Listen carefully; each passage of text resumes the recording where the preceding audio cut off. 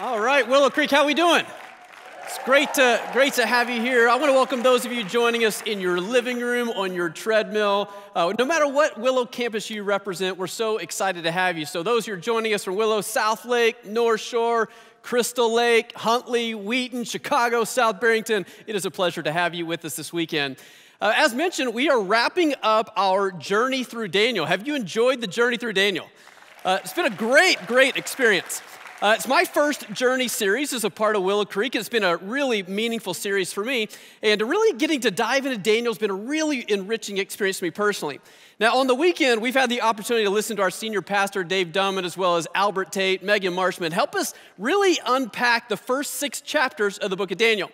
And what we discovered is Daniel was this uh, Hebrew young man, and he lived in Israel when it was conquered by the nation of Babylon. And he was one of those that was seen as intellectual capital. And so he was taken out of Israel. He was carted off to Babylon as an exile. And so Daniel, along with his three friends that became known as Shadrach, Meshach, and Abednego, they, they lived as exiles in this foreign land. And they had to wrestle with this question how do we stand up for a God in a world that doesn't? How, how do we live for a God in a culture that does it. And I think that the question that Daniel was wrestling with is a question that we too have to wrestle with. That how do we be people who stand for God in a culture that doesn't? And so, again, over the weekends, we've been really unpacking the faithfulness of Daniel all along the way and how he sought out God. And, and it was in his faithfulness that God also proved himself faithful. And God shows up in a fiery furnace, and God shows up in a lion's den. And there's some amazing, remarkable stories that really highlight Daniel's faithfulness, but also the faithfulness of our great God. Now, the first six chapters of the book of Daniel, they're the, they're the fun part of the book of Daniel. Uh, it's narrative, it's story. We get to really lean into uh, all the different things we've already talked about. The back half of the book of Daniel, chapters 7 through 12, it's a little bit more difficult uh, uh ground to cover. Uh, the, the back half of the book of Daniel is more prophetic literature. It's full of images, symbols. Some would even describe the genre of the back half of Daniel as apocalyptic literature. It's the same type of genre as the book of Revelation. And so it's full of all these symbols, all these images, and sometimes there's just a wide variety of interpretive methodology trying to figure out what in the world does this stuff mean? And so, as we tackle really the back half of the book of Daniel today, here's the approach that I would like to take with all the images, all the symbols, all the different types of interpretive methodology, we could really get caught up in the details and lose sight of the bigger picture. But I don't want to do that. Instead, I would love to take a step back. And I would love to really take a look at the big picture and see what is the message that God is trying to communicate to us through this very uh, uh, fascinating piece of literature, the, the, message that God wants to communicate to us through Daniel. Here's how I think about this. Uh, how many of you have ever been to the Chicago Art Institute? Right? Many of you home, you, have been a part of, uh, you've been to the Chicago Art Institute. I love the, the museums downtown. Uh, love the, the Field Museum. My favorite is the Museum of Science and Industry. We've also been to the Shedd Aquarium. I love all the different museums downtown. But I remember the very first time I went to the Art Institute, I felt a little bit out of place. I mean, it was a really enjoyable experience. I loved it, but I, I found out that I'm not as cultured of a person as some people are. Because I was just people watching at the Art Institute, and it felt like there were two groups of people. There were the people like me who were just kind of there to enjoy the experience, and then there were people who really knew art, right? And really knew really what they were looking at. They could really experience the richness of it in a way that I probably couldn't. And you could pick these people out because they were the ones that would walk up to a piece of art, they'd take off their glasses, They'd really stare intently into a piece of it was almost like they were looking at every little brushstroke, and every little brushstroke had a little sense of meaning in of itself. Now, I'm not that smart, and so I wasn't able to look at every little brushstroke, but what I was able to do is to take a step back and look at the entire picture and draw incredible appreciation for the entire piece of art. And I'd like to take that approach as we look at the back half of the book of Daniel today. Again, we could look at the details, but I don't want us to get lost in the brushstrokes. There's value in it. There, there's, there's reason to dive in, to learn more, to be challenged. It's good to talk about these, discuss these things, uh, even debate about these things. But sometimes when we really look into the brushstrokes intently, we lose sight of the bigger message. And so today we're going to take a step back. And we're looking at the message that God is wanting to see through this series of visions that he gives Daniel at the back half of the book. And so if you look at Daniel chapter 7 through 12, you'll actually find three visions. There's one in chapter 7, there's another in chapter 8, there's another one in chapters 10 through 12. They're very different in a lot of ways, but I think at the heart of it, they're all trying to communicate the same message. And so, for the sake of our conversation today, I'm going to anchor us in Daniel 7, which is the first vision. And what I want to do is, I want to share here's what the vision was, here's how we understand the vision, and then I want to talk about a couple of really important takeaways for us as we apply this vision into our journey. We ready to dive in? All right, here you go. Daniel chapter 7. It's a strange vision. Now, again, Daniel was the one that was doing the interpretations of all the dreams. Now he's having his own dream. And even by his own admission, he's having a hard time interpreting his own dream. But here's his dream. Here's what he sees. He sees these four beasts that come out of the sea. Here's how he describes those beasts. The first one, verse 4 says this The first was like a lion, it had the wings of an eagle. Second is in verse 5. It says, And there before me was a second beast, which looked like a bear. Verse 6 says, And after that I looked, and there before me was another beast, one that looked like a leopard. And on its back it had four wings like, like those of a bird. And here we get to the, to the, to the climactic moment. Uh, verse 7, it says, And after that, in my vision at night, I looked, and there before me was the fourth beast, terrifying and frightening and very powerful. It had large iron teeth. It crushed and devoured its victims. It trampled underfoot whatever was left. Uh, Daniel admits a little bit later that this, this dream kind of freaked him out a little bit. I mean, he didn't know what to do with it. it, he felt like you kind of messed with him a little bit. These, these four creatures, and the fourth one looked ferocious. It looked like the fourth one was just devouring and destroying everything. But the vision almost stops, and then immediately there's this beautiful picture of the Ancient of Days. It's a description of God. It's God in all of His glory, all of His majesty, all of His might. It's, it's just a picture of our great God. And so all the, the beasts and all of their destruction is set in juxtaposition of our great God. And then a new person is introduced to the vision. Verse 13, we read this. It says, In my vision at night I looked, and there before me was one like a son of man coming with the clouds of heaven. He approached the Ancient of Days and was led into his presence. He was given authority, glory, and sovereign power. All nations of people of every language worship him. Now let's stop there for a moment. Notice what he says. It was a son of man that came, which in the ancient Hebrew text, son of man was just like, he was just a dude. I mean, he's just kind of a, a human human. But he wasn't just any human, right? Because look at the characteristics that Daniel's describing are happening to this human human. He was one who was given glory, sovereign power, all nations of people of every language. What do they do? They worshiped him. You don't just worship any old dude. You don't just worship a, a, a, human person. This was a human person that somehow had taken on divinity. And then here's what it says. Don't miss this last statement. It says, His dominion is, everlast- is an everlasting dominion that will not pass away. His kingdom is one that will never be destroyed. Uh, let's just anchor ourselves in that statement. His dominion is an everlasting dominion that will not pass away, and his kingdom is one that will never be destroyed. And if we take that statement, we put that in our back pocket, that is going to be the key anchor statement that unlocks this vision that God gives to us through Daniel. Now, Daniel has this dream, he has this vision. At the end of it, he's like, I don't know what to do with this. Again, it kind of messes with me. It kind of freaks me out in some ways, but I don't, I don't fully know what to do with it. But thankfully, God provides some instruction on how to make some sense of it, how to interpret it. And so, a little bit later in chapter 7, we're given the meaning of this crazy vision. And so, Daniel is told these four beasts. What they refer to is four different earthly kingdoms. Now, some people try to actually define which kingdom it was, and some people suggest the first beast was the kingdom of Babylon, then the kingdom of Persia, then the kingdom of Greece, and ultimately the last one points to Rome. Some would suggest it points to something beyond Rome. But no matter what we interpret the detail, what we recognize is these are four earthly kingdoms that are attempting to thwart the things of God. They're attempting to crush the things of God and even the people of God. But here's the good news, my friends our God is a God who will not be thwarted. Our God is a God who is in no way, in no way threatened by the kingdoms of this world. No matter what happens with the kingdoms of this world, our God stands apart from that. He will not be defeated. He will not be conquered. He will not be thwarted. Our God is a glorious, majestic, authoritative, supreme God. That's who God is. And so you have the pictures of these kingdoms of this world, and a God who is truly reigning supreme. And then in comes this character, this, this Son of Man. Now, you and I know now that Son of Man was a term that Jesus applied for himself. But when, when Daniel was writing this book, Jesus was still hundreds of years ahead.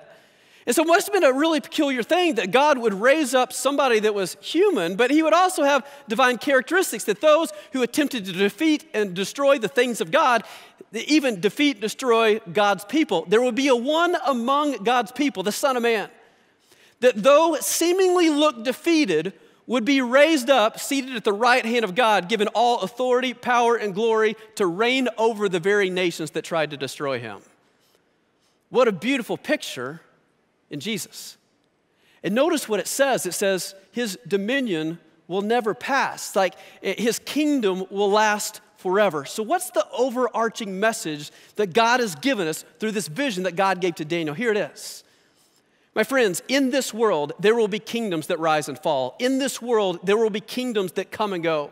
That has been true of every generation, of every century, of every millennia. It was true of the Persians, of the Greeks, of the Romans. It has been true all throughout human history. There are kingdoms that will rise and fall, there are kingdoms that will come and go. There is only one kingdom that stands forever, and that is the kingdom of our great God. And so, what Daniel is, is reminding us of is that you are members not just of earthly kingdoms, your citizenship, your membership, your ultimate connection is to God's kingdom. And so, if we, if we recognize that, we don't lose hope. That when our world looks really dark, we, we recognize our citizenship is a part of heavenly kingdom. When it looks like all hope is lost, hope is not lost because our citizenship is connected to an everlasting kingdom. And if that's the message that God is wanting to give us, I, I want to give us two really powerful takeaways of what this means for us.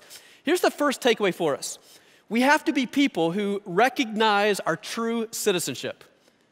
We got to be people who, who recognize our, our, our, true citizenship. Again, you not only find this theme in the book of Daniel, you find it elsewhere in Scripture. Paul even writes to it in the book of Philippians. Here's what Paul says about it He says, Our citizenship is in heaven, and we eagerly await a Savior from there, the Lord Jesus Christ. And so Paul reminds us hey, you got to remember, no matter what happens in this world, your citizenship is not just connected here, your citizenship is connected up there.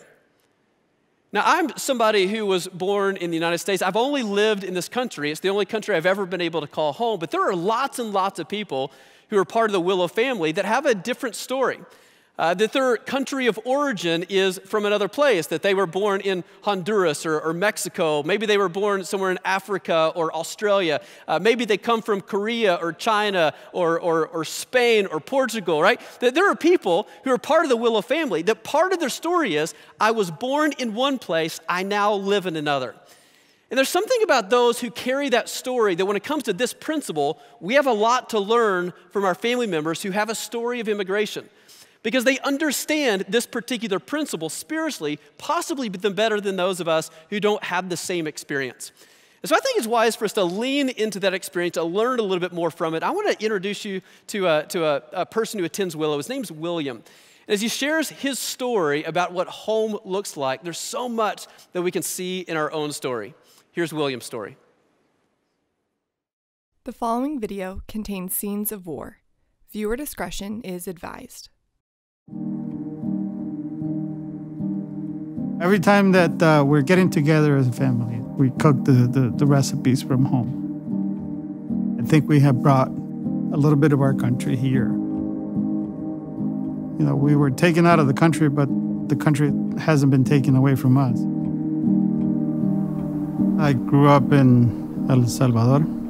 At the age of two years old, my mother decided to leave the country and migrate to the U.S.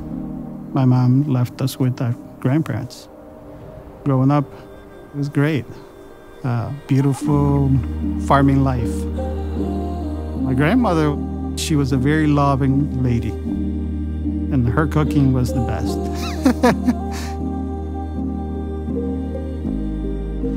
when I think about the farm. I picture my grandfather.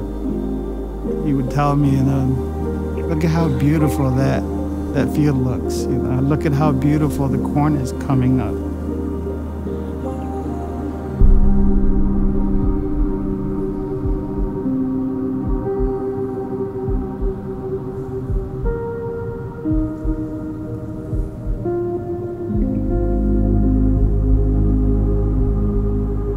That last day, we were coming back from from the farm. You know, we would see somebody dead on the side of the uh, the road. It was people that we knew uh, that were killed. My my grandmother and my grandfather, they had to make a, a decision and and just take us to the village. It was the toughest thing to do. We're leaving everything behind.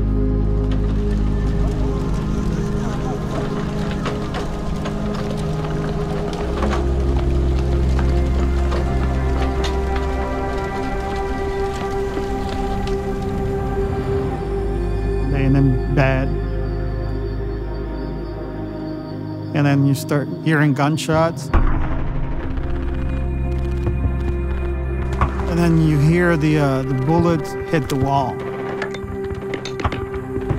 The kids they were screaming and crying.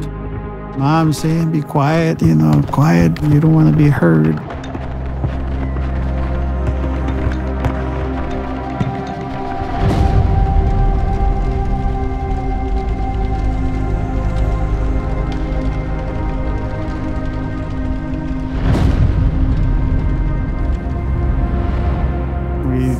Couldn't go to school because they used to go to the schools and grab the kids and just take them. Uh, 13 years old, I was recruited. I was part of a ward now.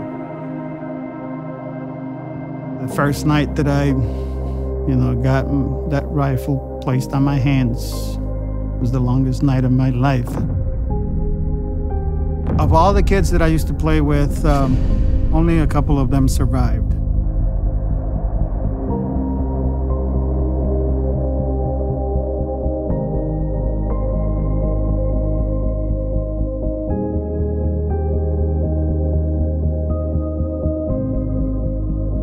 When I came to the US, it was hard not knowing the language and not having too many people to talk to. A lot of times I thought, you know, I don't belong here in this country.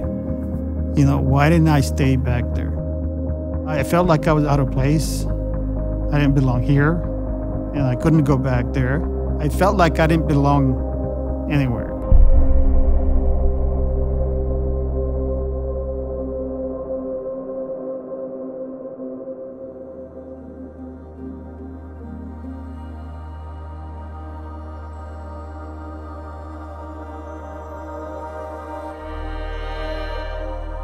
God's grace has been really good to me.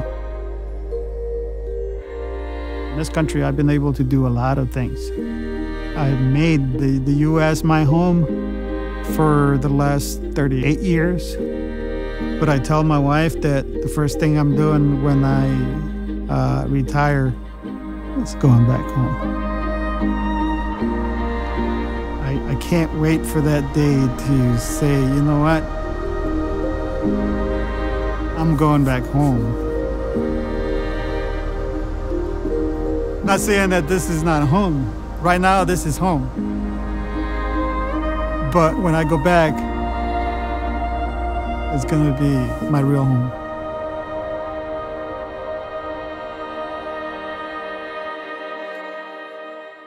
I mean, I love William's story, just as he says, like, this is my home, but my heart's still with my real home. There, there's something about those who are part of the Willow family that have a story of immigration. They understand this principle of citizenship possibly better than, than anybody else. And it kind of causes me to return back to the book of Philippians to remi- be mindful of what Paul was talking about here, where he says, Our, our citizenship is in heaven. So we, we might live here, but our heart is a part of a home somewhere else. And it says, We eagerly await a Savior from there, the Lord Jesus Christ. Now, what's fascinating about Paul's words in this particular text is in the city of Philippi, it was actually considered uh, a, a, province, uh, or a, uh, it was a province of the, the, the Empire of Rome. And so, what it meant by that is, though Philippi was a Greek city, uh, Rome was trying to establish Roman culture in that city. And so they would build Roman roads, they would bring in Roman statues, they would try to bring Roman culture in. You've heard the phrase home away from home. Philippi was Rome away from Rome, right? Uh, that was kind of the perspective. And so if you lived in Philippi, you had a couple of options. You could try to hold on to Greek culture, or you could embrace what was new and you could bring Roman culture into this new expression. And so I, I sense that Paul's alluding to that when he talks about our citizenship is in heaven. It basically is reminding us that though we might live in some sort of kingdom on this earth, our ultimate home is in heaven. And if we're, if we're able to, if we're willing to, what we do is we actually take things from the heavenly kingdom and we bring them into our current reality. The truth is, the call in our lives is we need to be people who live a life down here that will matter up there. We got to be people who live a life down here that will matter up here. So here's what that means. In a world of hypocrisy, citizens of heaven, we bring integrity. In a world torn apart by war and conflict, citizens of heaven, we bring peace. When it comes to a world of darkness and despair, citizens of heaven, we bring hope. In a world of, that is full of rejection, citizens of heaven, we bring love. In a world of sadness, Citizens of heaven bring joy. We live a life down here that matters up there. Is we've got to be people who remember our true citizenship. Here's the second takeaway for us is we have to be people that, that truly fight for unity. And what I would say, fight for unity. And, and the more I, I live, the more I rel- realize that, that nobody stumbles onto unity. Uh, unity doesn't just haphazardly happen. It requires not only intentionality, many times you have to fight for it. It's got to be something that's, that's, that's moving enough that we really do whatever it takes to really try to accomplish. Uh, we live in a very, very divided world in, in today's terms, and, and gosh, we, we we're making up ways to find ways to even divide and even further divide. And really left to its own devices, division just becomes greater. The gaps become wider. We figured out ways to divide around denomination. We, have divided around race. We've divided around politics.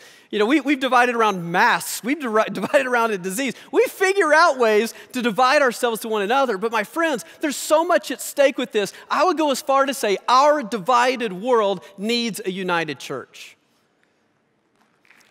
Our divided world that we live in desperately needs a united church. This world will not unite itself on its own. This world will become more and more divided. But when it comes to the people of God, there is not another place on planet Earth that people can be united despite their differences than in the church. Our broken, divided world needs a united church, needs us to come together.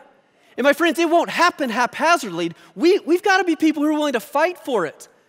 We we got to fight for it because it matters.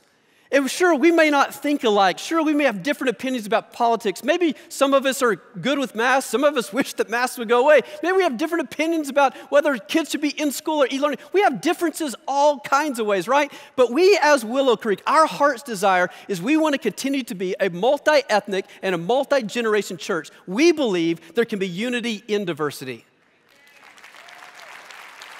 And it's in unity, in diversity, that we have an opportunity as followers of Jesus to bear his witness in our world. The truth is, when we look at the kingdom that we belong to, the kingdom of heaven, one day we're going to get there and we'll discover there's Republicans and Democrats there. One day we're going to get there and we're going to discover there were mask wearers and non mask wearers there. Uh, we're going to get there. We're going to discover people of every tribe and tongue and nation. We're going to find people of every single ethnicity. We're going to find people of all kinds of different ages. We're going to find people who are rich and poor. The beauty of the kingdom of God is unity in diversity. And if that's true of the kingdom of God, that has to be true within the church today. My friends, we have to fight for it. Our divided world needs a unified church. And it's worth fighting for. And that doesn't mean we avoid hard conversations. That doesn't mean we avoid significant issues. It just means that when we address hard conversations, we love anyway. And it means when we disagree, even adamantly, it means that we offer grace anyway. It means when we step on each other's toes because we said something offensive, it means we freely forgive. The truth is, it, it takes time, it takes energy, it takes effort to bring unity. But I believe the beauty of the body of Christ exists when we can find unity in diversity. But my friends, there's a lot at stake here. Uh, Jesus, in his last in some of his last days he, he prayed for you and i john chapter 17 look what he says about unity He's praying to God, the Father, and he says, Jesus is saying, He says, My prayer is not for them alone, meaning the disciples. You say, I pray for all those who will believe in me through their message. In other words, Jesus is saying, I'm praying for you and I. He says that we, that, that, may, that all of them may be one, Father, just as you are in me and I am in you. May they also be in us, so that the world may believe that you have sent me. I've given them the glory that you gave me, and, and that they may be one just as we are one. I and them, and you and me, so that they may be brought to you in what? Complete unity. Then catch this phrase. Then the world will know that you have sent me, and that you have loved them even as you have loved me. Do you understand what Jesus is saying? Unity is not just a good idea. Attached to unity is our witness to the world of the greatness of our great God.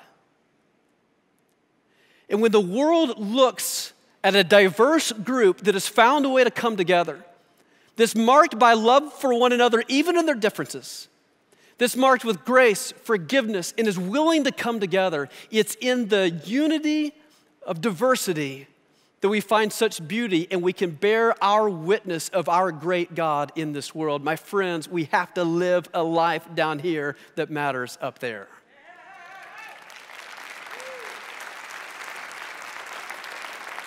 Daniel's vision was clear. And the vision was we live in a world that kingdoms are going to rise and fall, they're going to come and go, and they'll continue to do so. But there is one kingdom and one kingdom that endures forever. It is God's kingdom. And my friends, your citizenship, my citizenship is connected there. Let's live a life worthy of the kingdom. Let's pray together. Father, we love you. And God, we say thanks for the book of Daniel, the vision that you, God, that you gave Daniel that opens our eyes to the reality that, God, we live in a, in a broken, painful, difficult world that's sometimes full of division. God, we live in a world that the kings of this world, they try to thwart the things of God, they try to push down the things of God. But God, we're so grateful that you are a God that will not be defeated that you are a God who's victorious, that you are a God who reigns supreme, and God, even in our darkest moments in this world, God, you still reign supreme. And so, Father, I just ask, as we live as dual citizens, not just connected to this world, but we place our citizenship with you in heaven, may we take the things of heaven, the unity of heaven, the beauty of heaven, and may we bring it into this world to see so that they could see your glory, your might, your power, your worth.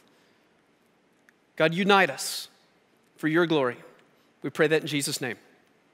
Amen.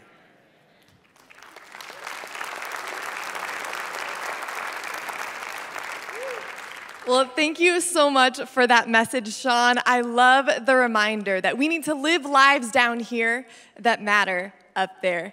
Next week, Pastor Shawn is going to be back with us to share a message on gratitude for Thanksgiving. So we hope to see you then. Have a great week.